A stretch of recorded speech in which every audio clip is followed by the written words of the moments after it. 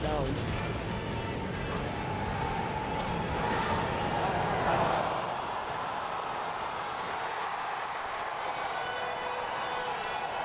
Another big weekend of college football is less than 24 hours away.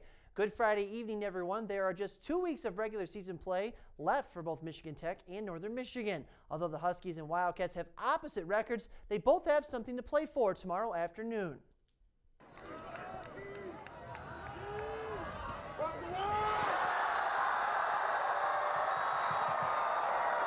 There is only one matchup between two top 25 Division II football teams this weekend, and it's in the Copper Country. The 20th ranked Huskies will battle the 22nd ranked Ashland Eagles tomorrow at 1 p.m. Both teams are fighting for what could be just one playoff spot.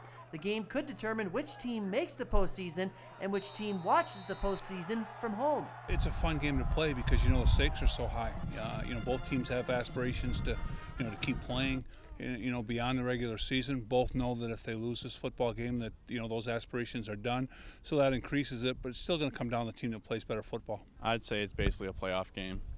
Um, winner of this game's, you know, put themselves in a lot better position makes playoffs. So uh, basically, it's a win or go home situation. Last week we came into the game saying that it was playoffs already, so we've been have a mindset on that uh, so far, and uh, you know, really do or die really this week. While the Huskies are at home, NMU is on the road, facing number four Ferris State.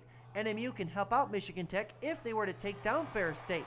The Wildcats will try and slow down Bulldogs quarterback Jason Vander Laan, who put up 499 yards of offense last week against Lake Erie. He's operating at, at, at a success rate that's off the charts. So uh, he's up for the Harlon Hill, which is the Division two version of the Heisman Trophy, and he's he's a special football player. Their offense, you know, is formed around him. I mean, he's a well-deserved player, you know, for all of his accolades and stuff. So a big deal with our defense is to contain him and stuff. So if we can do that, I think we can come out with a victory. Kickoff from Big Rapids is set for noon.